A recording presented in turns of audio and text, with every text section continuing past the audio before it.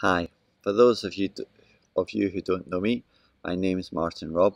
I, I grew up in Claremont Parish Church, but now I live in Hungary uh, with my wife Ibolya and my three kids, Julia who's 15, David or David who's 12 and Jasmine who's 10.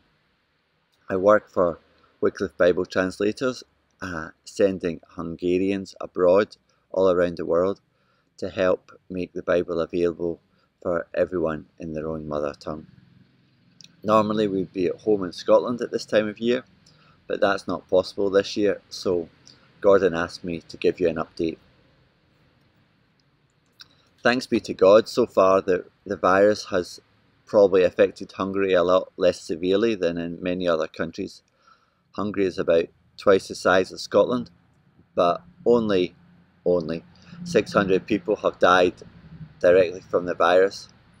And amazingly, less people have died in Hungary over the last six months than we'd normally do at this time of year.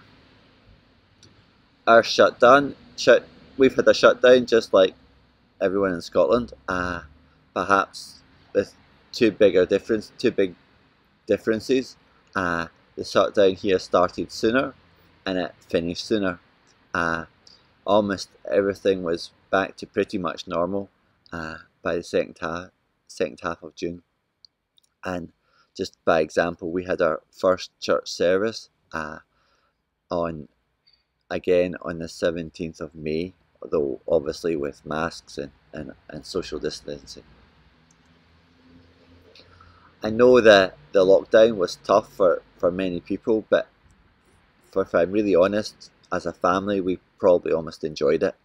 Uh, life is normally a bit too busy, and it was great to just have a bit of a break and have, have lots more time together as a family.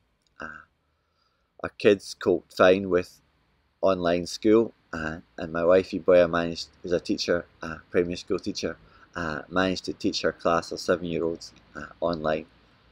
I managed to get more work done probably than normally, and probably I feel on top of my work for the first time for ages.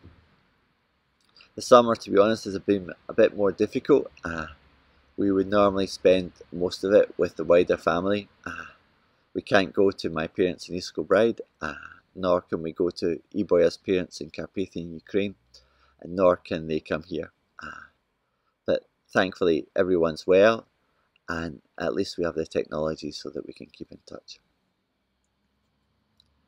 let me say a few words about my work with Wycliffe uh, over the past few months, uh, concentrating maybe on three topics. Firstly, regarding the work here in Hungary, obviously we've had to cancel lots and lots of things. Uh, we've done lots and lots of things online, and it's really difficult to plan for the next six to 12 months. But all those things are probably true for every single organisation all around the world.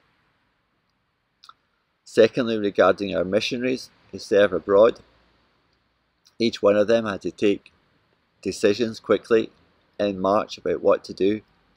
And looking back, all those decisions have had really big consequences.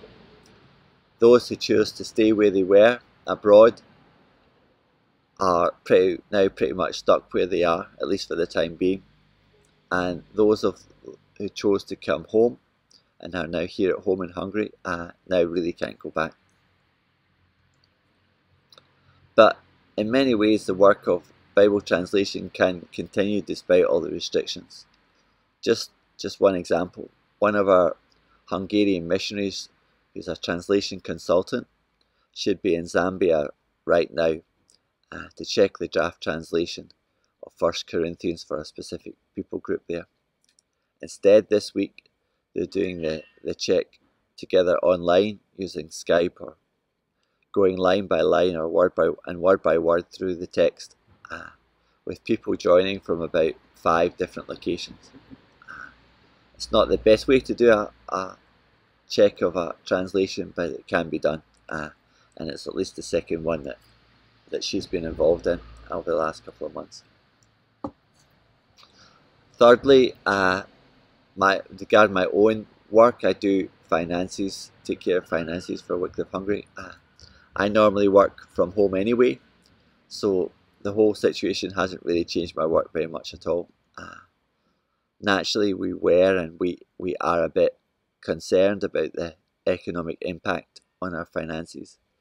But overall, so far, we have been amazed at, at how many of our supporters have managed to continue supporting the work financially.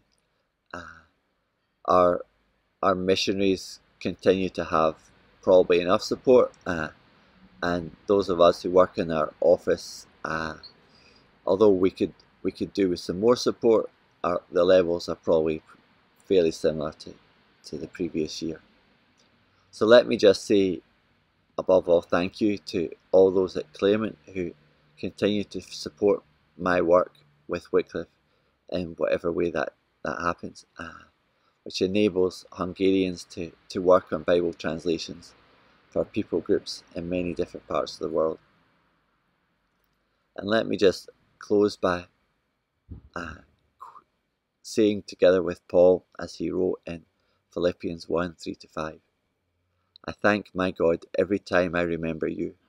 In all my prayers for all of you, I always pray with joy because of your partnership in the gospel. May God take care of each one of you and enable you to support each other through this difficult time. Thank you for watching and for listening. All the best. God bless.